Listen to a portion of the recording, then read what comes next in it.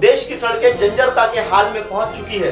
देश में लगभग सड़कें रोज़ाना लगभग 50 किलोमीटर निर्माण कार्य का फासला तय कर रही है, लेकिन पुरानी सड़कें के हाल खस्ता हो चुके हैं। एक सड़क के बारे में जब हम उप विभागीय अभियंता से हमारे प्रतिनिधि ने संपर्क किया तो अभियंता अपनी ज़िम्मेदारी से भागते नज़र आ रहे हैं। मामला है महाराष्ट्र राज्य के गोंदिया ज़िले के मोरगांव अर्जुनी तहसील के उप विभागीय अभियंता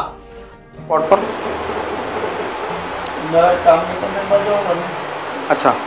आ, सब ये नेशनल हाईवे है ना स्टेट हाईवे का ये कोमारा रोड बात नहीं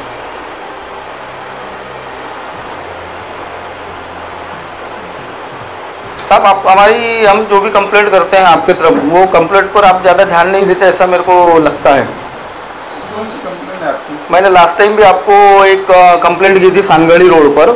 जहाँ टेम्परेचर कम था उसी के मीटर के ऊपर उस पर भी आपको मैंने ये किया था। चेक चेक करोगे उस पर क्वालिटी कंट्रोल की तो सब कुछ अच्छा अभी आप देख लो जाके नहीं तो रोड की हालत अभी आपको भी पता है सब कितने जंप है और क्या है उसमें आपको भी पता है। आप देख लो है ना? अच्छा तो नहीं हम जब भी आपको कंप्लेंट करते हैं किसी सड़क की तो आपको हमेशा टालम टोल करते रहते हैं। तो इसके पीछे का रीज़न क्या है? सब कुछ अच्छा है। अच्छा। आप आप देख लो जाके जो रोड पे अभी जो पैचेसिंग वगैरह का जो काम है साहब वो बहुत घटिया तरीके से किया हुआ है कॉन्ट्रैक्टर ने।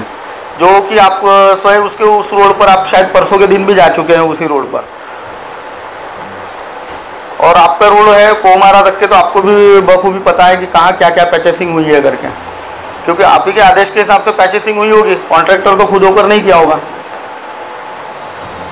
उसका मेंटेनेंस प्रोग्रेस में अभी। अच्छा।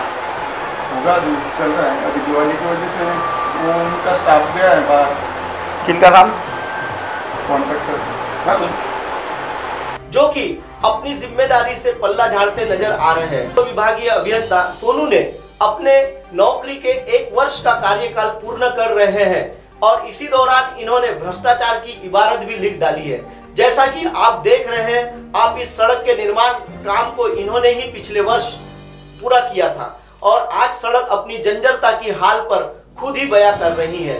सोनू ने उप विभागीय अभियंता की हमारे चैनल के माध्यम से लोक निर्माण विभाग मंत्री महोदय को भी लिखित शिकायत भेजी गई है, ताकि ऐसे भ्रष्ट और पूरी तरह से अंजाम न देने वाले अभियंता पर कार्रवाई हो सके। एमएनएस न्यूज़ लाइव की खबरें देखने के लिए आज ही प्ले स्टोर से MNS Hindi app Play Store से डाउनलोड कीजिए और हमारे यूट्यूब चैनल को भी सब्सक्राइब कीजिए।